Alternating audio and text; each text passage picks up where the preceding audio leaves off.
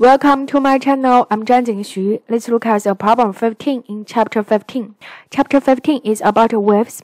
In this question, we have two earthquake waves, same frequency, but the uh, energy issue, energy ratio is 3, 3.0, right? Now we need to find the ratio for amplitude, A1 over A2. Now question 1, how can we find the energy for the wave? 1 half Ka squared, right? A is the amplitude, K is the what? K is the uh, constant spring spring constant. Agree? Yes.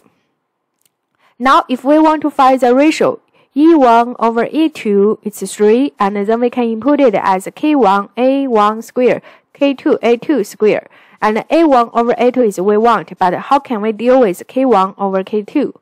We consider their frequency. Can we connect the frequency with k? Sure.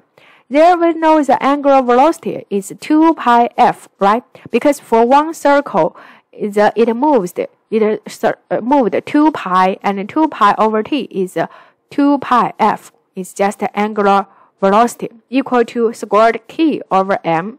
You can see f1 equal to f2. So that makes the k1 equal to k2. No problems. Do you agree? Yes. So K1 equal to K2, so this can cancel. And then we get A1 over A2 squared is 3. So of course, the ratio of amplitude is squared 3. Thank you.